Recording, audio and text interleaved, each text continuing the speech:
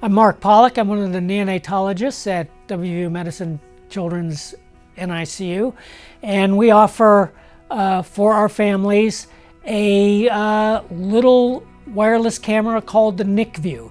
The image goes to a HIPAA protected uh, cloud, and then um, it can be accessed with a NICView app that can be uh, downloaded to your iPhone, your Android phone, your uh, laptop.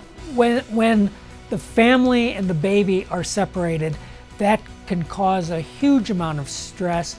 It can also cause a detachment of the family depending on how sick the baby is.